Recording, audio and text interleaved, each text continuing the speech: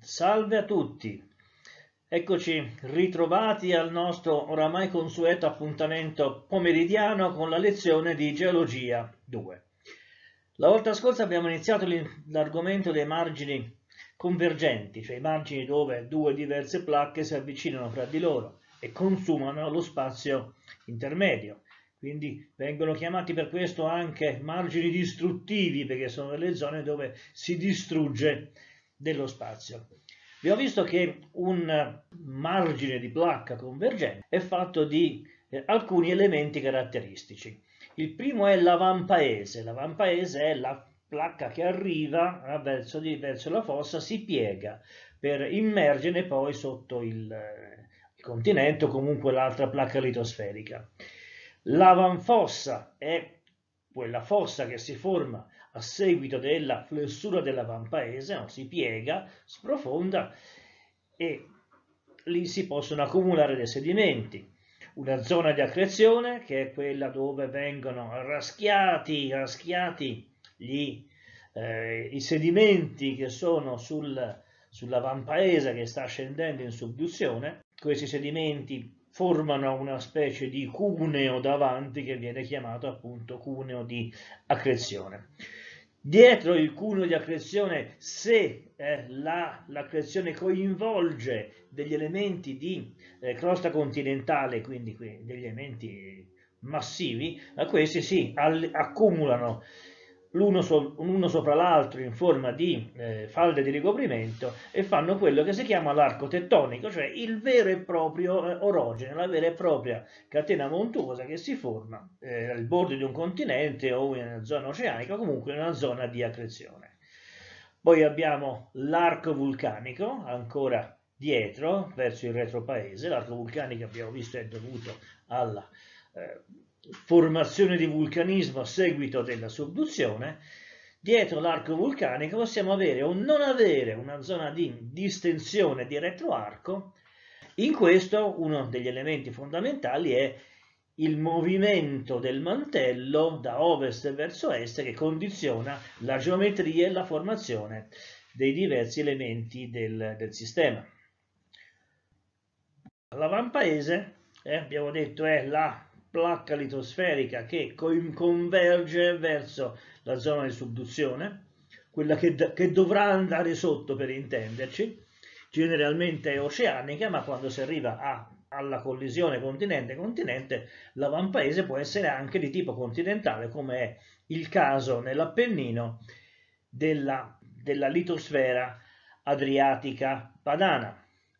L'avanfossa è la zona dove l'avampaese flette, eh, si piega sotto e quindi naturalmente crea una depressione, poi dopo scivolerà sotto l'arco, eh, l'arco di subduzione e poi tornerà, andrà nel, nel mantello. Ora qui abbiamo il eh, solito, solito Giappone con la sua fossa, l'abbiamo già vista, ora cambiamo un attimo immagine. Ecco, questa è la fossa delle eh, delle Filippine, eh, anche quella è profonda una decina di migliaia di metri, vediamo la placca oceanica verso, eh, verso destra, verso est, che piega e flette sotto le isole del, dell'arcipelago delle Filippine. La fossa in questo caso è molto profonda perché le isole producono pochi sedimenti. Quei sedimenti che sono alla superficie delle, della placca oceanica che si sta avvicinando e sottoscorrendo si saranno grattati e accumulati lungo il bordo, il bordo della fossa. Ecco, questa invece è un'altra fossa dall'altra parte dell'Oceano Pacifico, questa è la costa del Cile, catena delle Ande produce sedimenti che vengono trasportati dai fiumi, è l'erosione, produce sedimenti, vengono trasportati dai fiumi e quindi vanno poi ad occupare, a riempire l'avanfossa, che si vede bene in questo caso che è piena. Questi sedimenti sono in parte provenienti dalla zona oceanica, in parte provenienti dalla zona continentale. In queste condizioni, sul bordo fra i due si forma quello che è un prisma di accrezione che va a, a posizionarsi tra l'avampaese e, e, il retropaese, cioè la, la, la placca sovrastante. Ecco, questo forse lo vediamo meglio. Questo è il prisma di accrezione. Sulla destra abbiamo un, un continente, un continente che si va a convergere verso una, eh, una, una, litosfera, in questo caso oceanica. La litosfera oceanica è tutto lo spessore sotto, quelli eh, colorati di chiaro sono i sedimenti. Questi sedimenti possono comprendere anche edifici vulcanici, possono comprendere frammenti di, di altre zoccole continentali, eccetera. Questi elementi vanno, eh, saranno grattati, grattati, grattati, andranno a eh, costituire questa specie di eh, di triangolo che ha la forma di un prisma e viene chiamato il prisma di accrezione. Ecco, questo qui è il nostro prisma di accrezione che viene spinto dal continente come se fosse spinto da una ruspa. Naturalmente lo spessore e l'estensione del prisma dipendono dal tipo di sedimenti che ci sono. Beh, questo qui è, eh, diciamo, una, una, un giochino di quello che succede, insomma, una schematizzazione, un esempio di quello che succede sul fronte eh, di un prisma di accrezione quando il materiale soffice, in questo caso credo sia sabbia in una cava, viene spinto al retro da quello che sarebbe, eh, che eh, è il, eh, il margine continentale esemplificato con le nostre ruspe eh, che stanno spingendo i sedimenti oceanici.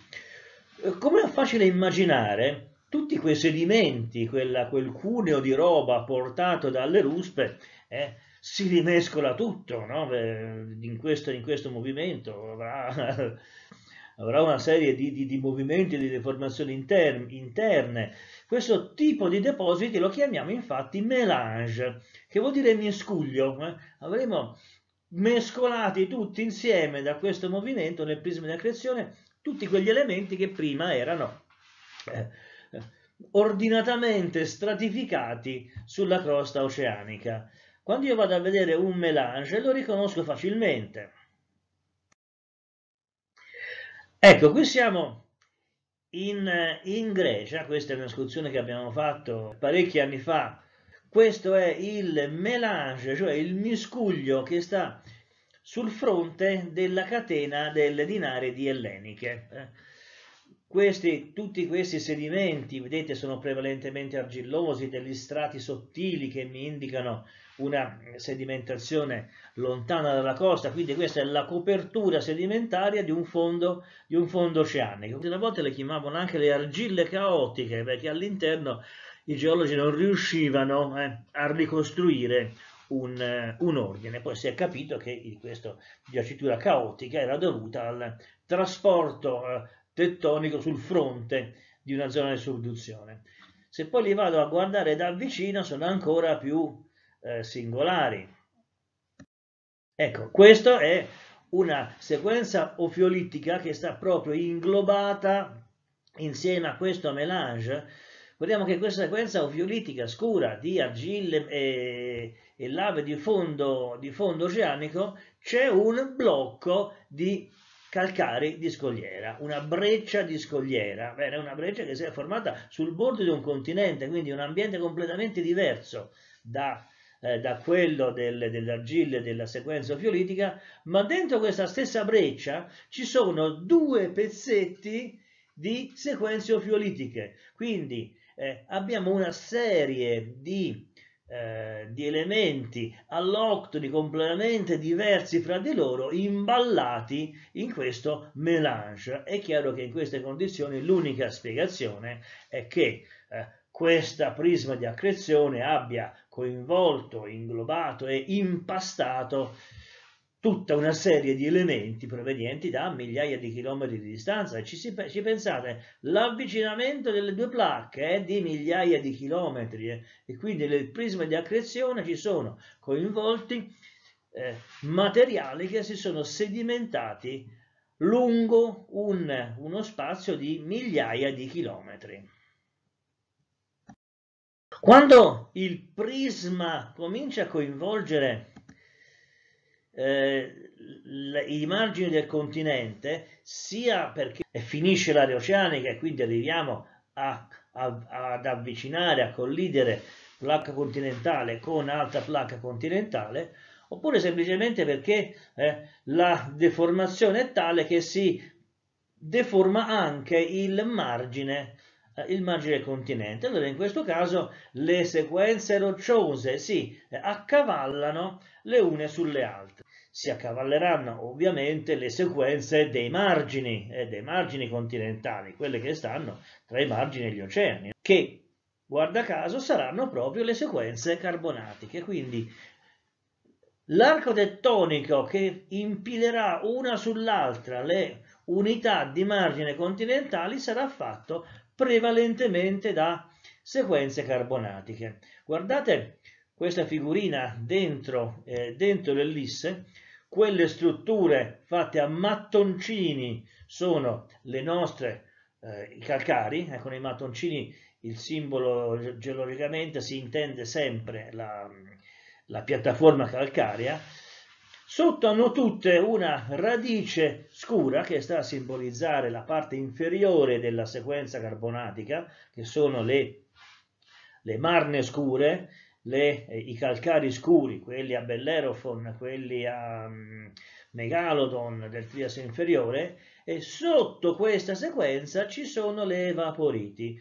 Quindi le evaporiti hanno anche l'effetto di fare il lubrificante, il sale, le evaporiti sono eh, molto deboli tettonicamente e fanno anche il lubrificante che permette a tutte queste sequenze, a questi pezzi di piattaforma che sono, di scorrere eh, gli uni sugli altri e creare questa, eh, questo arco tettonico, mentre la crosta inferiore, la litosfera, la crosta inferiore, sia continentale che eh, oceanica, scende in subduzione e va a costituire le radici della, della catena, poi diventerà, se in caso sia crosta sia eh, roba continentale, diventerà metamorfica, comincerà a fondere, darà luogo a delle migmatiti e poi rientrerà nel ciclo delle, delle rocce.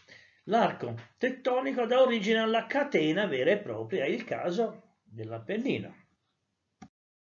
Questo è la, la, vabbè, questo la riconoscete tutti, questo qui è la, la parte settentrionale dell'Appennino, vedete la linea eh, rossa continua sta a indicare il crinale dell'Appennino, no? quella parte più rialzata dove le sequenze dell'Appennino, il Gran Sasso, le sequenze umbre, eccetera, vanno a rovesciarsi e avanzano verso il mare Adriatico. Quella zona invece delimitata dal, dal, limite tratteggiato, bene, quello è l'Appennino sepolto. Sotto la pianura padana c'è dell'Appennino che sta nascendo, che poi passerà davanti al, davanti al Conero, davanti ad Ancona, poi passerà davanti alla Maiella, eccetera. Quell'Appennino sepolto rappresenta proprio eh, il prisma di accrezione che avanza sul fronte della catena appenninica. Poi quello, anche quello sarà coinvolto nella catena vera e propria. Il disegnino che vedete in alto sono le eh, sequenze sepolte del, dell'Emilia, sono zone di, di, di, di, idrocarburi, abbiamo visto che questa sequenza, questa parte esterna, eh, sarà quella che produrrà la sismicità della pianura padana, che non è pianura perché sotto è già un prisma di accrezione. Dietro dietro l'arco tettonico, che in questo caso è proprio il culmine dell'Appennino, abbiamo la zona toscana, in questo caso, che è una zona di apertura, tipo retroarco, e una zona vulcanica, magmatica, eh, a parte i laghi laziali, che sono laghi in crateri, in caldere di eruzione quaternarie, abbiamo tutte le zone magmatiche ora spente, dei, dei batoliti toscani, dell'isola d'Elba, abbiamo l'Arderello che scalda i vapori da cui vengono, con cui viene prodotta l'energia elettrica, e abbiamo insomma tutta l'area eh, anomala che arriverà fino al Tirreno, che sappiamo essere una zona in espansione, e tutti i vulcani. Ecco, vabbè, questo qui schematicamente è lo stesso, abbiamo ecco, la crosta eh, adriatica che scende sotto la catena, la catena che avanza con il Gran Sasso e tutte le sue sequenze calcaree eh, appenniniche impilate le une sulle altre e sul fronte, sul fronte spinge quel cuneo giallo che è il cuneo dei sedimenti che sono sul, sulla crosta adriatica, in parte sono sedimenti prodotti dalla stessa montagna, dalla, de, dalla deformazione dell'Appennino, in parte saranno portati dal, dal Po nel nostro caso, no? e quindi quello sarà il cuneo di accrezione. Questo cuneo di accrezione, a meno di non avere delle, delle radici carbonatiche eh, di crosta continentale, in genere non farà terremoti perché è materiale dove si eh, difficilmente si accumulano sforzi elastici perché sarà materiale diciamo soffice. Qui siamo eh, sul Monte Aquila, dal Monte Aquila eh, guardiamo verso, verso sud, quindi quello eh, nelle nuvole verso, verso sinistra è il, la, la, pianura, le colline teramane e il mare, il mare Adriatico. Il Gran Sasso è uno degli elementi più esterni delle piattaforme appenniniche che infatti va a piegare così, va a piegare eh, e si rovescia sopra eh, l'avampaese padano adriatico, che in questo caso è composto dalla piattaforma Apula, eh, la quale flette, flette, flette e va a immergere sotto. La catena fa una fossa che in questo caso eh, è occupata da una serie di sedimenti, abbiamo eh, di fronte al, al, al, Gran Sasso che sta piegando ci sono tutta una serie di, eh, di strutture ben note ai petrolieri perché accumulano idrocarburi. Ecco, questa è la struttura, l'Appennino e il Gran Sasso, che è uno degli elementi più esterni, bene, vanno a eh, costituiscono l'arco tettonico e si vanno a rovesciare sopra l'avanfossa padana. L'avanfossa padana ha una serie di eh, prismi, ha un prisma di accrezione che coinvolge tutta una serie di elementi che appartenevano alla piattaforma padana adriatica. Questi elementi del prisma di accrezione appenninico sono ben conosciuti dai petrolieri perché sono una di quelle zone dove sono delle strutture ad anticlinale che sono una riserva di idrocarburi. Quindi se non ci fossero le, le nuvole, noi vedremo là nel mare lontano tutta una serie di, eh, di chiodi di perforazione che sono appunto localizzate sopra gli elementi esterni del prisma di accrezione Appennino che eh, avanza verso l'avampaese adriatico.